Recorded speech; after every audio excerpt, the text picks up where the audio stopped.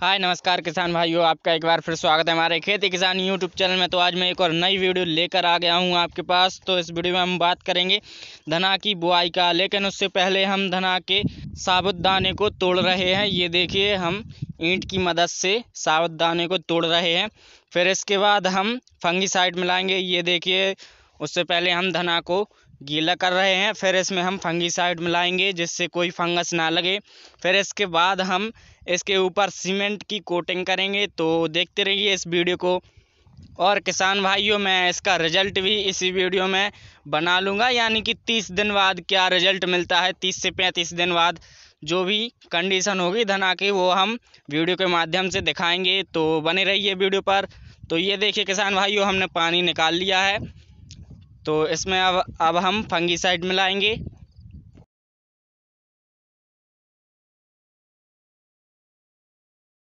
ये देखिए किसान भाइयों रोको फंगीसाइड हम इसमें मिला रहे हैं। और इसमें टेक्निकल की बात करें तो आपको थायोफेनेट मिथाइल सत्तर प्रतिशत डब्ल्यू पी फॉर्म में यह टेक्निकल है। ये देखिए किसान भाइयों, इसमें अब हम मिला रहे हैं। फिर इसके बाद हम सीमेंट की कोटिंग करेंगे। तो आप देखते रहिए इस वीडियो को।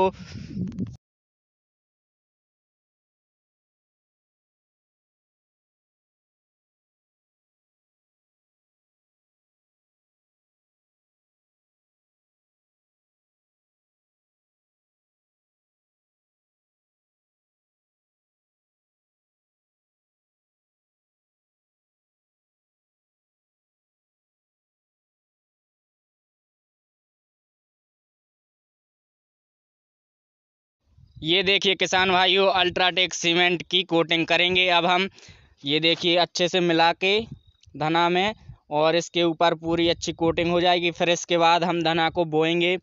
तो ये देखिए किसान भाइयों, इस तरीके से आपको सीमेंट की कोटिंग कोटिंग कर लेनी है। आप कोई भी सीमेंट ले सकते हैं माई सेम का, अल्ट्राटेक का, उचित लगे या आसानी से उपलब्ध हो जाए तो आप उस सीमेंट को इसमें मिला सकते हैं। तो ये देखिए धने के ऊपर सीमेंट की कोटिंग हो चुकी है। इसके बाद हम एक प्रैक्टिकल करेंगे तो पानी में हम इस बिना कोटिंग वाले धने को डालेंगे और फिर ये कोटिंग वाले धने को डालते हैं। तो ये देखिए, बिना कोटिंग वाला धना जो है, पानी में तैर रहा है। अब हम सीमेंट की कोटिंग वाले धने को डालते हैं, ये देखिए। तो ये पूरा धना जो है, डूब चुका है। तो ये रहा प्रैक्टिकल तो अब हम खेत में फेंकेंगे तो सीमेंट वाला जो है, नीचे दब जाएगा। जब हम पानी छोड़ेंगे तो तो किसान भाइयों, मिलते हैं खेत में। तो ये देखिए किसान भाइयों, इसमें हमने यूरिया और खाद को भी मिला लिया है। ये आप देख सकते हैं, अब हम इस धने को फेंकते हैं। तो ये देखिए, अब हम खेत में जो है, धने को फेंक रहे हैं। फिर इसके बाद हम खुला पानी छोड़ देंगे।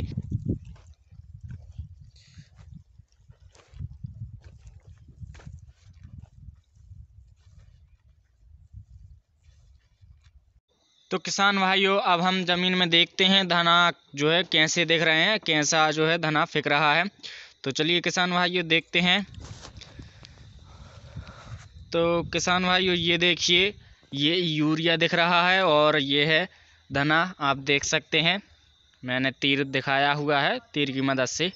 तो धना जो है अच्छा फेंक रहा है, हाथ की मदद से आप देख ही सकते हैं। तो इसमें अब हम खुला पानी छोड़ेंगे, सिंचाई करेंगे।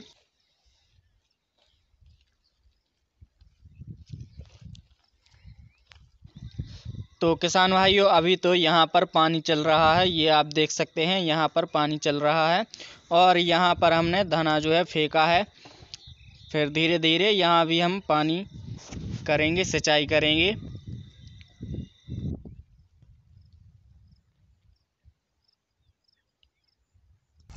तो ये देखिए किसान भाइयों, पानी हमने छोड़ दिया है और इसमें अब हम देखेंगे धने जो हैं डूबते हैं या नहीं। और हमने पहले टेस्ट तो कर ही लिया है। तो ये देखिए, धने पूरे तरीके से पानी में डूब चुके हैं, मिट्टी में दब जाएँगे यानी मिल जाएँगे। तो आपको सीमेंट की कोटिंग कर लेना है, फिर इसके बाद धना आपको फेंक देना है, फिर आप खुला पानी छोड़ सकते हैं। तो धना जो है, निकल आएगा, उगाएगा। तो किसान भाइयों, अब हम मिलते हैं करीब तीस से पैंतीस दिन बाद फिर हम धने की ग्रोथ देखेंगे, कैसी क्या बड़ी है। तो किसान भाइयों, मिलते हैं। ये देखिए किसान भाइयों, हमने मसूर में धना को बोया है हाथ से फेंक कर और ये हमने सीमेंट में की कोटिंग करके ये फेंक कर बोया था, और ऐसे करीब तीस से पैंतीस दिन हो चुके हैं, और ये धना इतना हो चुका है, यानी मसूर के बराबर हो चुका है। ये देखिए किसान भाइयों। तो पैंतीस दिन बाद धने की कंडीशन ऐसी है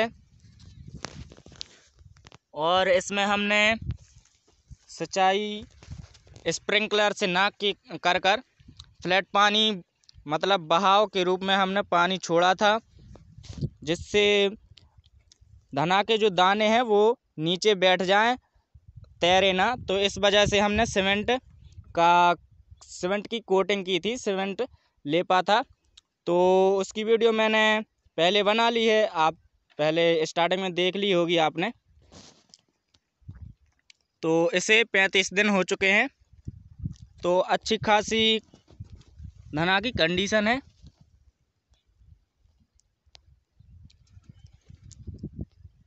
और यदि किसान भाइयों, आपकी मसूर ज़्यादा उगरती है तो आप धना बो सकते हैं, धना अच्छा हो जाएगा।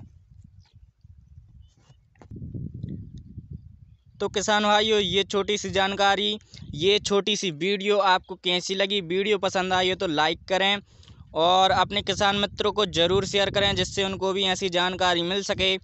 और यदि आप हमारे यूट्यूब चैनल पर नए आए तो चैनल को कर लीजिए सब्सक्राइब और पास में लगी बेल आइकन को दबा लीजिए। ऐसे ही लेटेस्ट वीडियो पाने के लिए तो किसान भाइयों, मिलते हैं अगली वीडियो में। तब तक के लिए सभी किसान भाइयों को मेरी तरफ़ से राम राम